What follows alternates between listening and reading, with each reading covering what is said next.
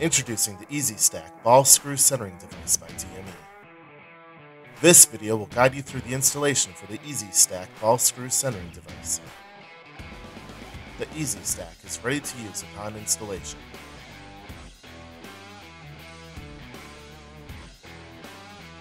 All fasteners and hardware are included. All fittings are pre-greased.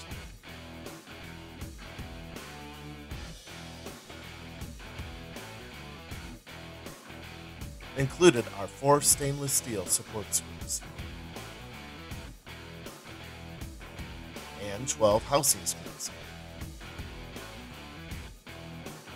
To begin installation, install the tubular dowels to specification. Install the four screws in the center bearing housing. Leave them loose enough so the tubular dowels do not engage. Pull the one-touch bellow retainer forward release from the nut housing. Using a pin spanner wrench, rotate the left and right nuts to match the screw dowel's position for engagement.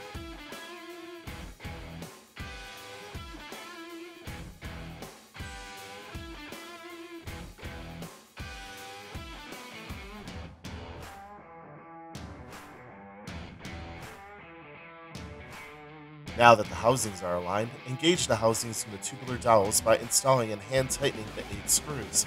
Once the housings are aligned and engaged, use a torque wrench to tighten all 12 bolts to specification. Place the cover supports using the M8 screws. Place the stainless steel covers in position.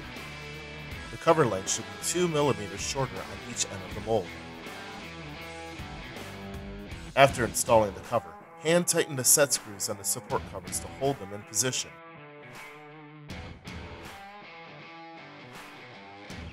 Install the aluminum support guide to centers that support housings using the MC screws. Install the bellow support clips onto the rod. Center the clip to keep the bellow from sagging and wearing.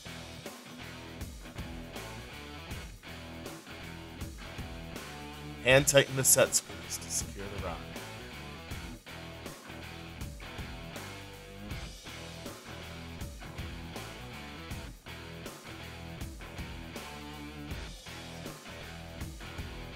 To maintain, every 100,000 cycles, grease the ball screw nuts.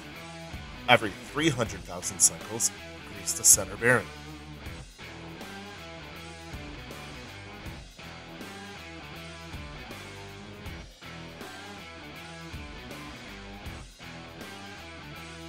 Wipe the excess grease buildup every million cycles.